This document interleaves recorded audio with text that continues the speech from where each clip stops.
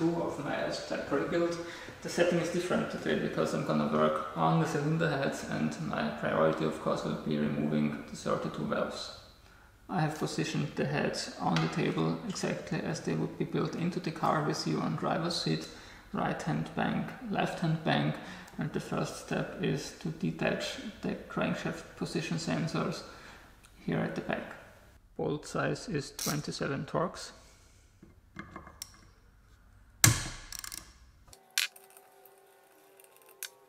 And I think it's the best to simply push the sensor out from the inside here, which isn't that easy.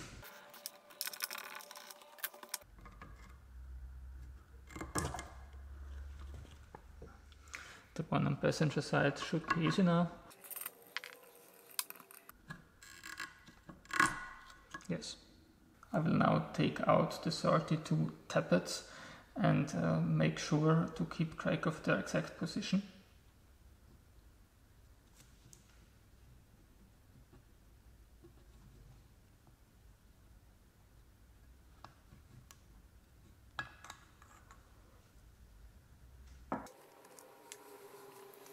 The workshop manual tells me not to use a magnet.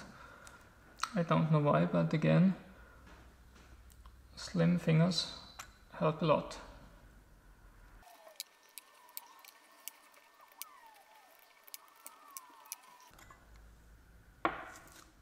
As you can see, even though that's a modern engine equipped with variable valve timing and so on, the actual valve train is really low tech there are no roller lifters, no hydraulic lifters, and it's not even possible uh, to adjust uh, the valve clearance uh, by turning a nut.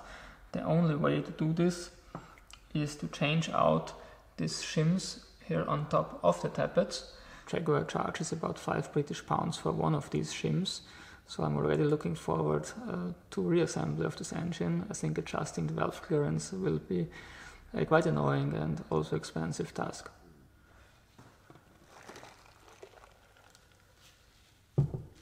to actually get the valves removed, I went for this uh, so-called valve spring compressor. That's the cheapest version I could find online. Uh, this part count the holes uh, at the bottom of the valves uh, here at the back, while this adapter uh, presses uh, the valve spring retainer towards the inside. As soon as this is depressed a certain amount, two little wedges will show up that they can remove with a magnet and as soon these wedges are removed, uh, the valves should be free and can be taken out. I start with the first exhaust valve here on top.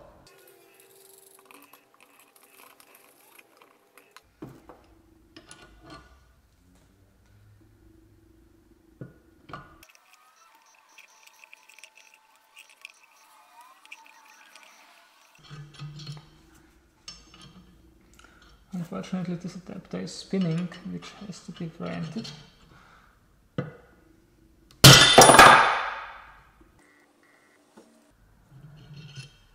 Okay, don't know what was the problem here.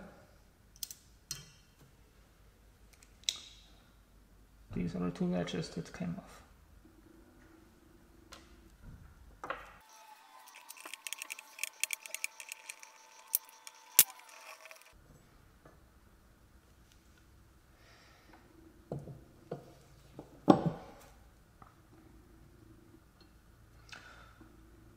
can now take out the spring retainer and the valve spring itself. And finally the exhaust valve can be pushed out towards the back side.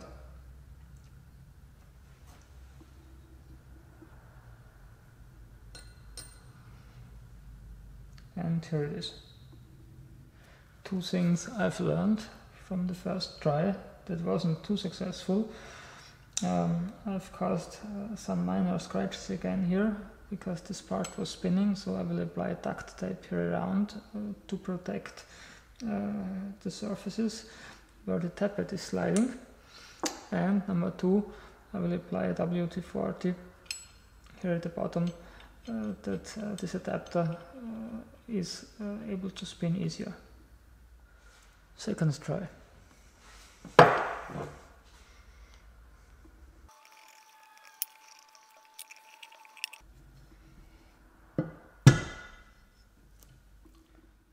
You see a little bit wiggling around uh, helps loosening the wedges up front. The first already drops down. And the second also.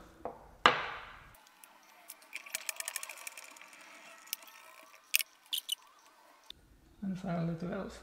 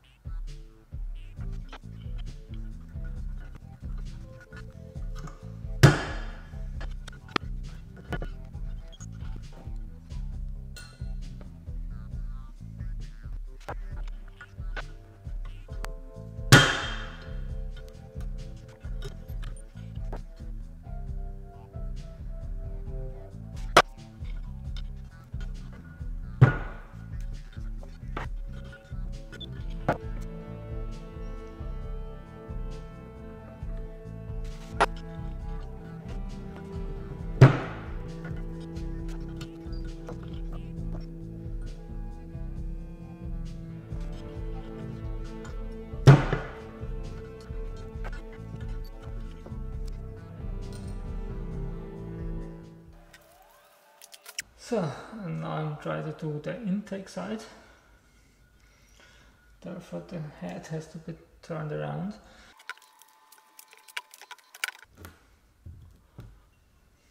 The lower side of this intake valve is completely flat, so it's difficult here to center the counter hole stud of this tool.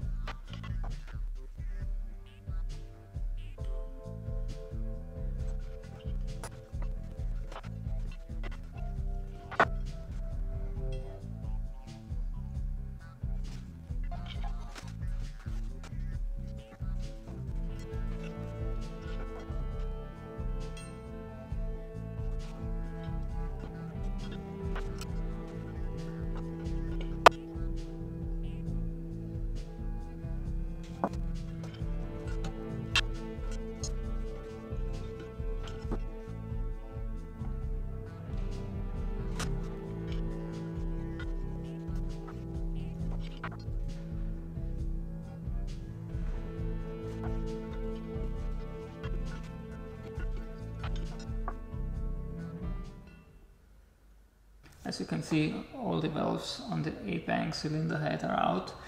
I'm quite satisfied with this universal tool, with one exception. It's not sitting 100% square on the valve spring retainers.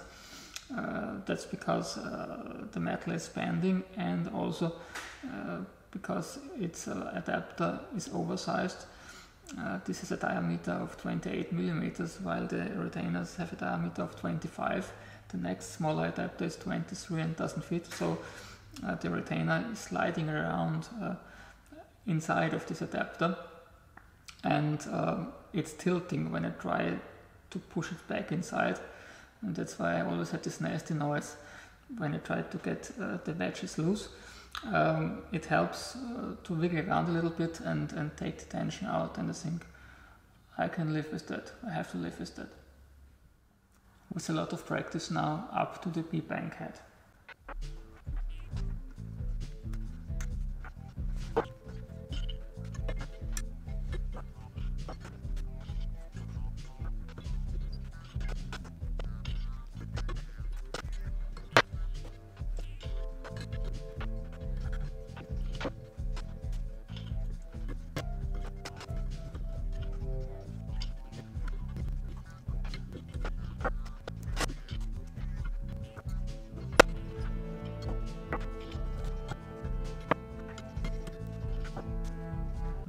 Up to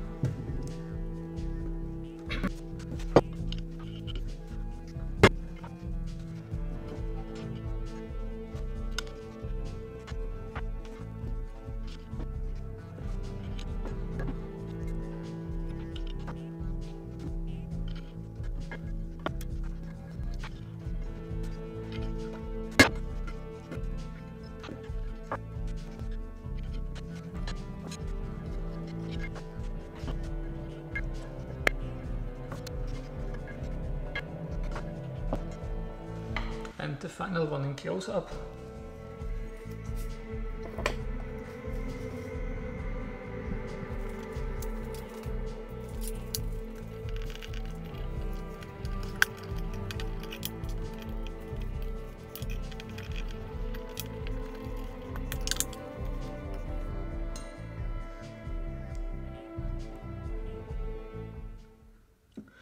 Sixteen valves in 35 minutes, not too bad for a beginner I think. And this is the result of today's work. If you enjoyed the video, please give it a thumbs up. Next time I will check the bearings and engine clearances to see what has to come new. To get notified as soon as new content is online, consider subscribing. If doing so, please also ring the notification bell. See you back on my channel. Goodbye.